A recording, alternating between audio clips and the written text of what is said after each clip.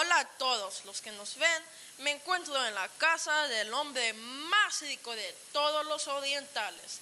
Y me refiero a Job, quien tiene una riqueza de siete mil ovejas, tres mil camelos, 500 yuntas de bueyes y 500 asnas y muchísimos criados.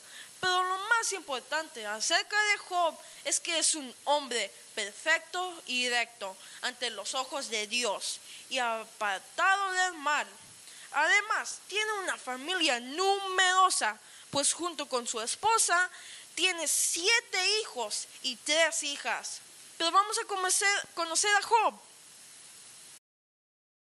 Job, hola, gracias por recibirnos en tu casa. Oh, por nada, no, no se preocupe, eh, no me tienes que agradecer.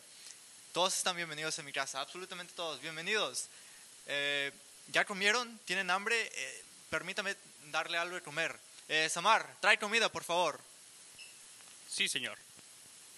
Mm, muchas gracias, pero en realidad estamos aquí para que nos puedas contar, para que nos cuentes cómo lograste hacer tan rico en esta época.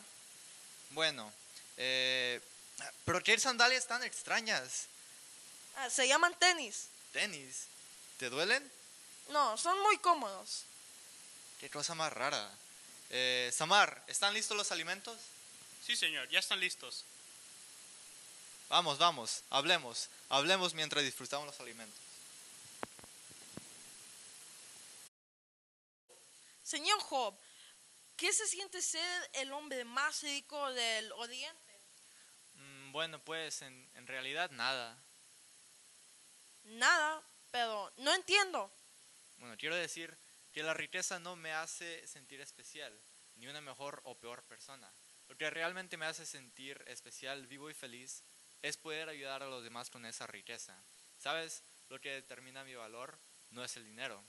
Cada persona es valiosa, no importa quién sea o lo que tenga. Para mí, más importante que el dinero es mi Dios y estoy seguro que yo soy importante para Él.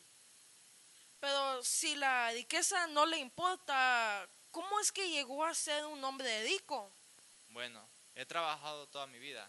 El trabajo fortalece y, y ha dado sus frutos. Nunca he estado solo, eh, siempre con la bendición de Dios. Le soy fiel y Él ocupa, Él siempre ha ocupado el primer lugar en mi vida. Cada día la adoro. Eh, hago sacrificios a Dios para agradecer sus bendiciones y por mis pecados y por los pecados de mis hijos y mi familia.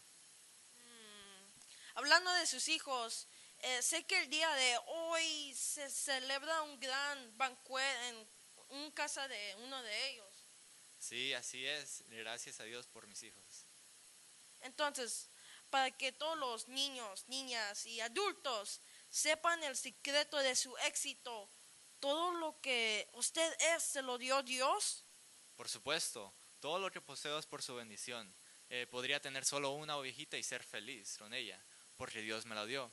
Él ha querido que yo posea mucha riqueza para darle gloria. ¿Y cómo hago eso?